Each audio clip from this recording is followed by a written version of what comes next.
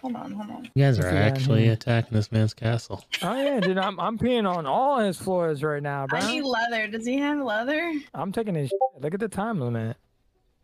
It's about to go down. I actually stole his paper. We need that. Do you? Does anybody have leather? Oh, Oh. You found him?